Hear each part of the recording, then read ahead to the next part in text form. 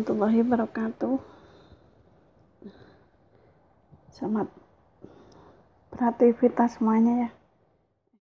Assalamualaikum warahmatullahi wabarakatuh.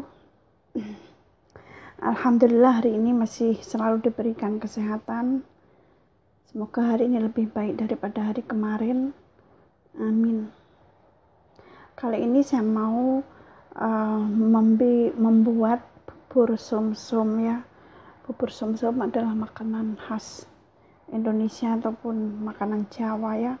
Ini sudah saya persiapkan. Ini ada uh, 5 sendok makan ya penuh 5 sendok makan penuh uh, tepung beras lalu ini ada tepung apa namanya tapioka atau pati singkong ya saya cuman memerlukan uh, dua setengah sendok.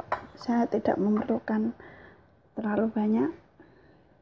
Saya nggak ambil semuanya ya. Nah dua setengah sendok aja.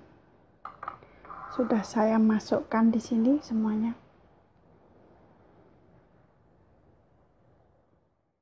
Dan jangan lupa kita tambahkan garam ya.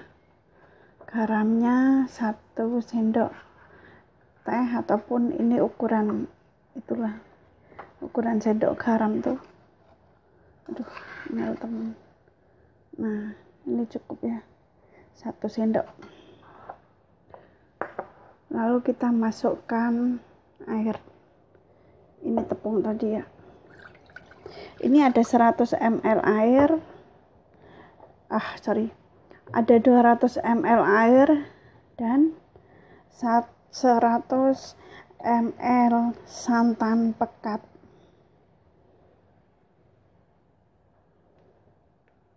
oke kita on api dulu. Bismillahirrahmanirrahim.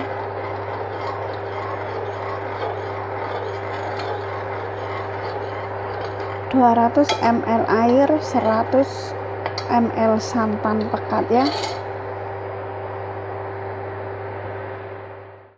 Lalu kita tambahkan air ataupun kita larutkan.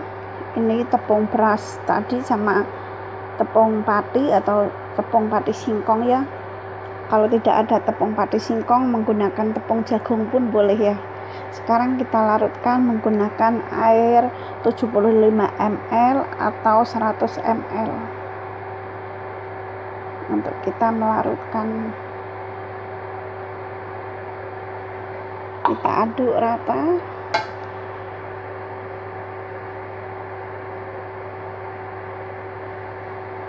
kita aduk ya sampai larut. Nah ini tepungnya sudah saya larutkan menjadi seperti ini. Dan kita masukkan ke dalam santan tadi yang sudah mendidih. Ini sudah mendidih lalu saya kecilkan api ya. Sekarang kita tuangkan. Sebenarnya sambil aduk ya sambil dituang sambil diaduk. Karena tangan saya satu pegang HP jadi sekalian aja saya masukkan semuanya tapi dengan api yang terkecil. Oke sekarang kita aduk.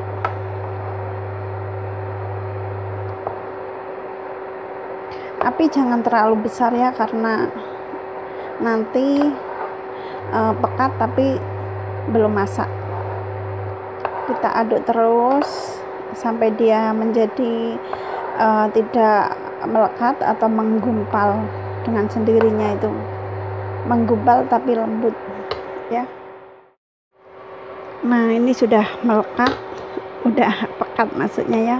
Tetap kita aduk rata sampai uh, tidak melekat di sendok ataupun di tepi-tepinya. Jika takaran anda kurang cukup air boleh ditambahkan sedikit demi sedikit aja ya.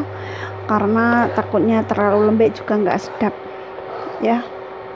Kita aduk terus sampai masak uh, ciri-cirinya sudah masak tuh ini bubur sumsum -sum menjadi kilat-kilat juga tidak melekat di sendok atau melekat di panci. Itu tandanya sudah masak ya.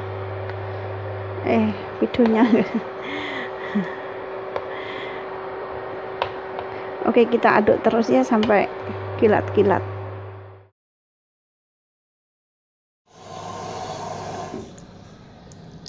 cara membuat air gulanya ya. Setengah gelas air